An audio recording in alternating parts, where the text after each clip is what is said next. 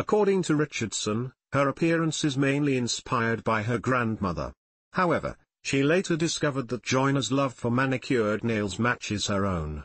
Flo FloJo came to the track and knew she was going to dominate, Richardson told Associated Press. The way she did that was graceful.